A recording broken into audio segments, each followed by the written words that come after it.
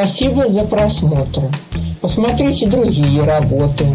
Поставьте лайк, напишите комментарии, поделитесь с друзьями, подписывайтесь на мой канал.